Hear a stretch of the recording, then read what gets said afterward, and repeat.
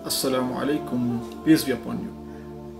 We Muslims should unite upon the way of the righteous predecessors. In our journey as Muslims, we are blessed with a rich legacy and clear path illuminated by the Prophet Muhammad sallallahu alaihi wasallam and his righteous companions, the Sahabas. May Allah be pleased with them. The guidance they left behind is not merely historical. It is the living blueprint for achieving Allah's pleasure and attaining success in both this life and the hereafter.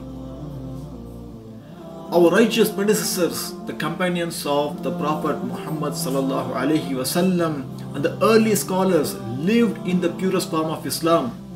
Allah praised them in the Quran and promised them paradise, affirming His pleasure with them.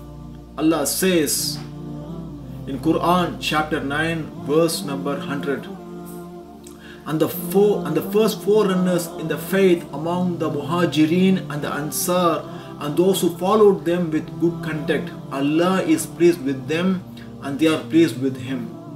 And He has prepared for them gardens beneath which rivers flow, wherein they will abide forever. That is the great attainment.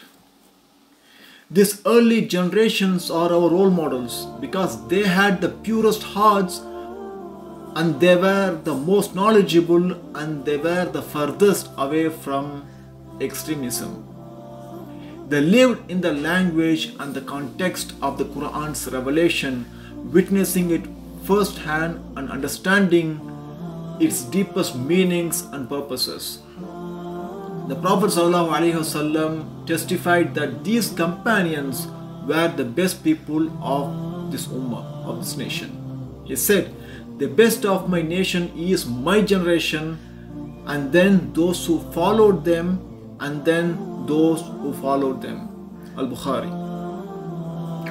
This statement shows the unparalleled virtue and understanding of the earliest Muslims.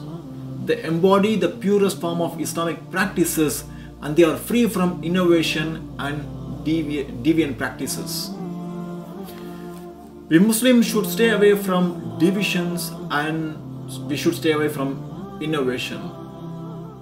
In our times, we witness the fragmentation of the Muslim community into various sects and the introduction of practices not rooted in the teachings of the Prophet Muhammad and his companions. The Prophet wasallam warned us about these divisions, saying that his nation would divide into 73 sects, all of which would be in hellfire except one. Who are those? They are those who follow his guidance and that of his companions. This warning calls us to unite upon the authentic teachings of Islam and to avoid innovations and corrupted practices. Stay away from modern liberal ideologies and practices.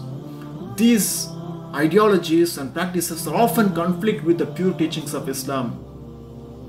We should stay away from these uh, ideologies. Instead, we must anchor ourselves firmly in the understanding and the practice of the Sahaba. The path to salvation lies in adhering to the Sunnah of the Prophet ﷺ and understanding of his companions. We must strive to learn and practice Islam as they did, embracing their values and principles. Dear Muslims, let us commit to unite upon the way of the righteous predecessors. Let us reject innovations and corrupted religious practices, staying true to the authentic teachings of Islam. This unity is not just about external practices but about a unified heart and purpose, striving together for the pleasure of Allah. By following the examples of the Sahabas, we strengthen our community, fortify our faith, and ensure that our actions lead us towards Allah's eternal reward. May Allah guide us, protect us from division, and keep us steadfast on the path of the righteous predecessors. May He unite our hearts and grant us success in this life and the hereafter.